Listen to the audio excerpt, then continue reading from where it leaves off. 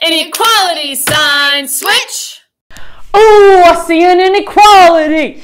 Check that coefficient, what do we see? Ooh, I see negativity. Better switch that sign for clarity. Ooh, I see an inequality. Better check that coefficient, what do we see? Oh, I see negativity. You better switch that sign for clarity. Ooh, I see an inequality. Check that coefficient, what do we see? Ooh, I see negativity. Better switch that sign for clarity.